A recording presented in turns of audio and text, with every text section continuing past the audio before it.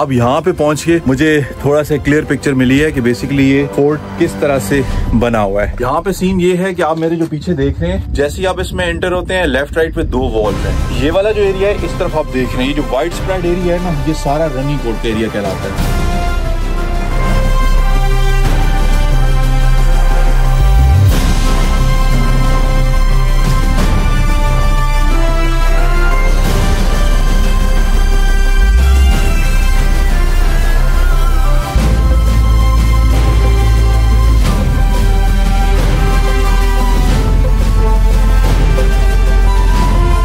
Aslam good morning from Miri Kot fort कल रात, जैसा कि आपको दिखाया, हमने थोड़ी सी वॉक की थी इस किले पे।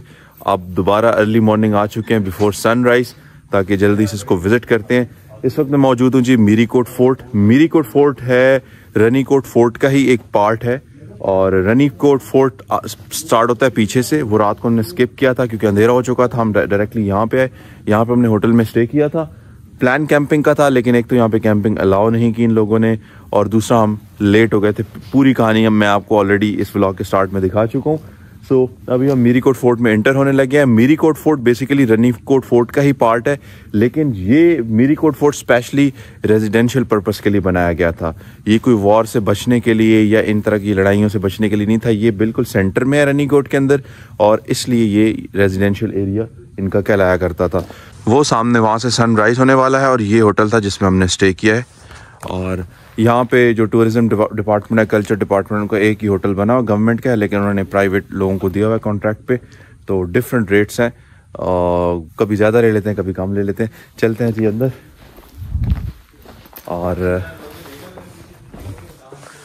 कुछ इन्फॉर्मेशन यहाँ पे लिखी हुई है। ये बड़ा सा गेट है जिसके ऊपर वही एलिफेंट के अटैक से बचने के लिए काफ़ी बड़े बड़े नेल्स लगाए हुए हैं जिस तरह बाकी फोर्ट्स में जगह जगह लगे हुए हैं।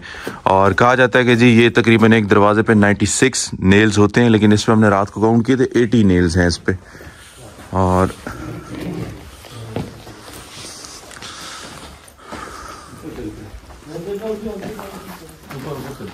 चले ऊपर ही चलते हैं सीधा।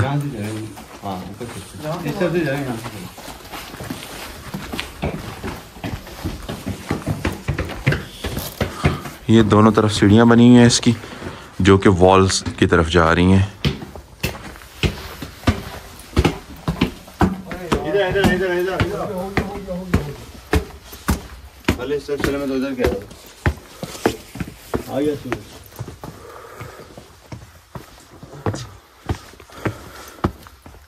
यहाँ से आपको सनराइज दिखाता हूँ। चेक दिस आउट क्या बात है। ये पूरी की पूरी इस किले की वॉल है जो कि इसके चारों तरफ़ से जो है घूम के वापस मेन गेट पे आती है। और अगर आप ये पीछे चेक करें ना माउंटेन टॉप पे ये वाला, ये भी बेसिकली इस पूरे पहाड़ के ऊपर एक वॉल बनी हुई है और ये घूमते घूमते इस पहाड़ के चारों तरफ़ से घूम रही है। और जो कि एक डिफेंसिव वॉल थी जिसको the Great Wall of Sindh कहा जाता है। सिंध प्रोविंस को प्रोटेक्ट करने के लिए पुराने ज़माने में एक बनाई गई थी कि इस पूरे एरिए को ना, जिस तरह वॉल ऑफ़ चाइना है, उसी का ये एक स्मॉल वर्जन कह कह सकते हैं आप इसको। तकरीबन ये सारा मिला के ना, जितने भी ये वॉल्स हैं, ऊपर से लेके एंड तक, ये सारी तकरीबन 32 किलोमीटर लॉन्ग वॉल है, जो कि एक डिफेंसिव पर्पस के लिए बनाई गई थी। और काफ़ी खूबसूरत, लेकिन अब वहाँ पे तो भाई जाना पॉसिबल नहीं है। वो तो दूसरे पहाड़ के बिल्कुल टॉप पे। ये विज़िट करते हैं, फिर पीछे चलेंगे रनी कोट फोर्ट पे, जहाँ से ये स्टार्ट हो रहा है। वैसे इस पूरे एरिए को रनी कोट ही कहते हैं, उसके बीच में ये एक मेरी कोट फोर्ट है, जो कि रेजिडेंशियल पर्पज़ के लिए यूज़ किया जाता था। ये है जी, किले का कुछ लॉन कह लें, अंदर का एरिया जिसमें टूटी फूटी इमारतें अंदर बनी हुई हैं, जिसके ऊपर फ़िलहाल किसी किस्म का को कोई मेंशन नहीं किया कि कौन सी चीज़ क्या थी। ओके जी मॉर्निंग की पहली चाय और नाश्ता तो भाई लोग नहीं करवा रहे। नाश्ता कहाँ पे करेंगे? घर पे। अल्लाह अकबर। चले जी मेरी कोट फोर्ट को एक्सप्लोर कर लिया है। ड्रोन का बहुत अफसोस हो रहा है। कोशिश करूँगा अगर कहीं से किसी दोस्त से ड्रोन शॉट मिल गया तो आपको दिखा दूँगा।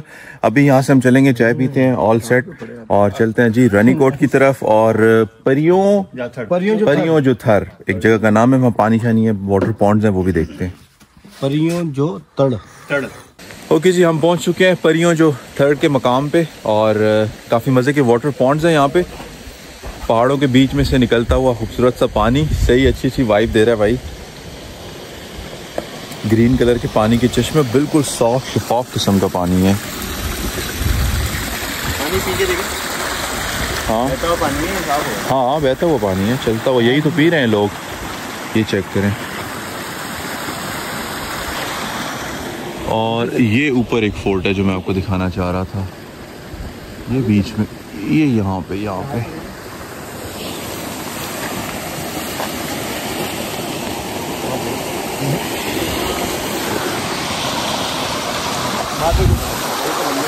ओहो हो ये चेक करें। क्या बात है जी। ये वाला जो वाटर पॉन्ड है ना, ये सही डीप है भाई। बहुत गहरा। सही जिसको कहते हैं ना, गहरा। और लोगों ने यहाँ पे ना वाटर चैनल्स बनाए हुए डिफरेंट जिनके ज़रिए यही पानी साफ़ सुथरा पानी ना होता होता नालियों के ज़रिए जो नीचे गाँव तक जा रहा है। जिस वाटर स्ट्रीम से हम गुजरे बेसिकली वो यहीं से आ रही है। और ये चेक करें, ये वाटर चैनल बना हुआ है, जिसके ज़रिए पानी को ना ऊपर ऊपर से अपने इस्तेमाल के लिए लेके जा रहे हैं। क्या बात है यार सच अ लवली प्लेस पहाड़ों के बीच में इतना खूबसूरत जगह। गर्मियों में तो सही वाइब आती होगी भाई यहाँ नहाने शाने की। तो इस रास्ते डेंजरस हैं ख़तरनाक हैं गर्मियों में गर्मी भी सही पड़ती होगी। वहाँ से ले लें यूँ करेंगे यूँ यहाँ क्या यहाँ क्या परियाँ ना आती थी या परियाँ आती थी इन पॉइंट्स पे? क्या सीन था?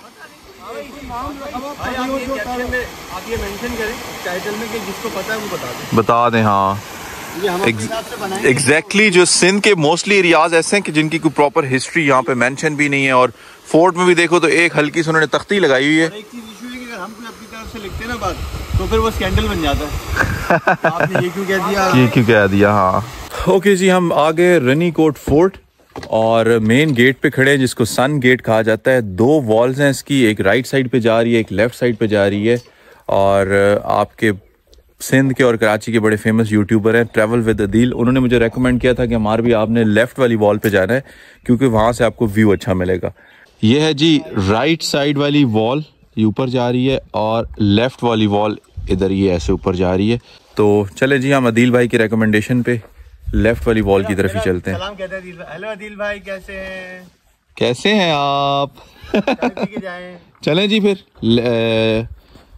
लेफ़्ट वाली वॉल पे चलते हैं। मैं और साजिद भाई जा रहे हैं बाकी तो समद भाई और हाँ। यहीं के लोकल हैं। फाद भाई यहाँ पे वेट करेंगे। वॉल पे चढ़ना हमने स्टार्ट कर दिया। किले को फतह करते हैं आज रनी कोट को।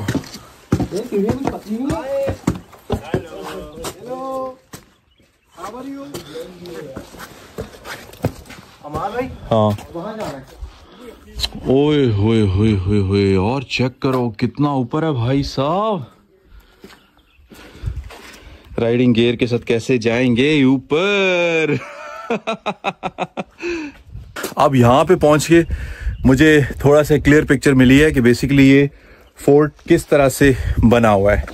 यहाँ पे सीन ये है कि आप मेरे जो पीछे देख रहे हैं, जहाँ पे हमने बाइक्स पार्क की हैं, ये है सन गेट सन गेट इसको इसलिए बोलते हैं क्योंकि इस तरफ़ अगर आप इसी पे सीधा जाएँ तो सामने जो सन सिटी है ना सन शहर, वो आता है। तो उसकी मुनासबत से इसको सन गेट कहा जाता था। जैसे ही आप इसमें एंटर होते हैं लेफ़्ट राइट पे दो वॉल्स हैं। ये वाला जो एरिया है, इस तरफ़ आप देख रहे हैं। ये जो वाइड स्प्रेड एरिया है ना, ये सारा रनी कोट का एरिया कहलाता है। और इसको दोनों तरफ़ से वॉल्स हैं जो तकरीबन लेंथ में 32 किलोमीटर्स बनती हैं। और ये सारा मीरी कोट का एरिया फिर जो हम वो परियों जो थर वाली साइड पे गए ऊपर जो फोर्स थे, ये सारा उनको प्रोटेक्ट करती है, ये वॉल्स तो बेसिकली ये एक डिफेंस पर्पज के लिए बिल्ड की गई थी वॉल्स और जो मेरी कोट है, वो रेजिडेंशियल एरिया था इनका. जो भी एम्प्रस थे, वो वहाँ पे रहते थे. और बाकी ये सारी की सारी इस पे और आर्मी थी जगह जगह बीच में. अभी जिस जगह हम खड़े हैं तो ये भी एक, इधर दिखाएँ जी. ये भी एक तरह का वो बना हुआ है. मतलब लाइक यहाँ से ये, उस टाइम के जो भी होता था, बंदूकें तो होती नहीं थी, पता नहीं क्या आप जो भी फेंकते थे. यहाँ से मतलब वो अटैक करते थे। हम्म। यार, क्या सीन है भाई इसका? लेवल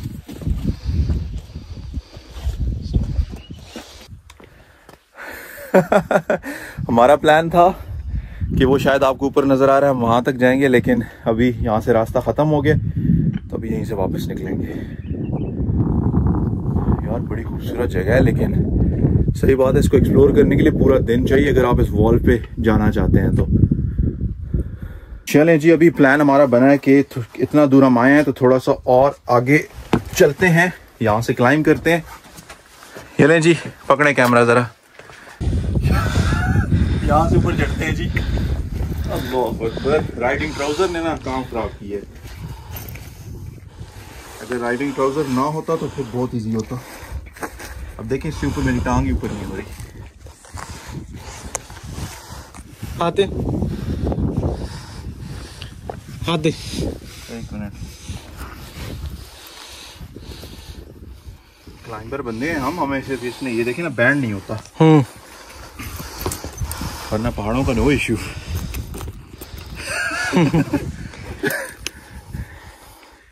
इस पे चलना है जी दिखाएँ।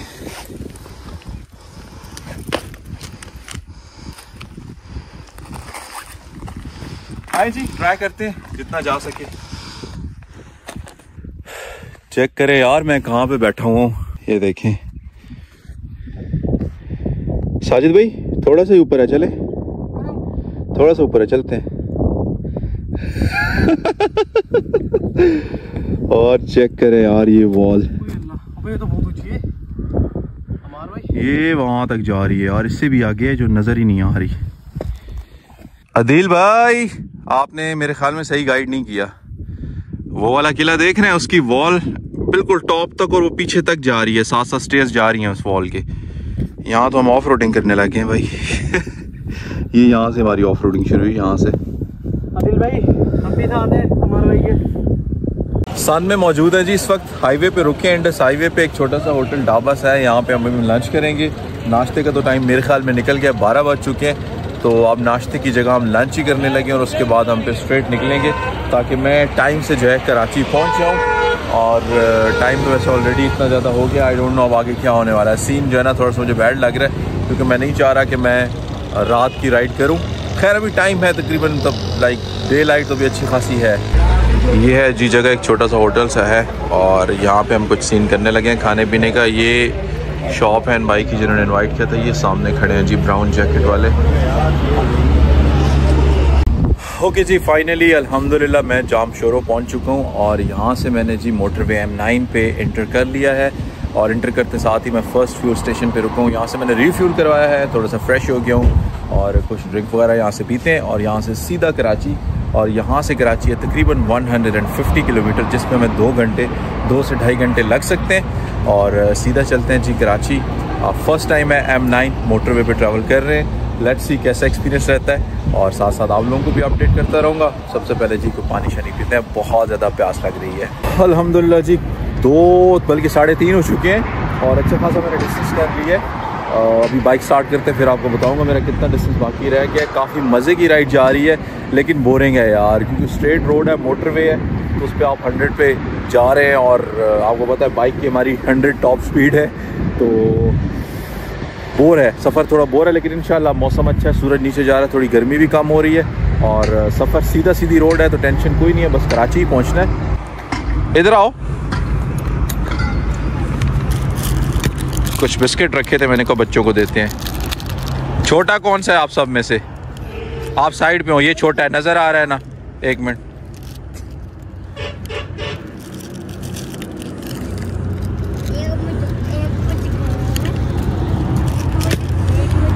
नाम तो आप लोगों ने बताया ही नहीं है। नाम आपका क्या है? आपका? चंद्र आपका? राजा। ओए क्या प्यारा नाम है भाई। राजा चलें जाएँ बिस्किट खाएँ।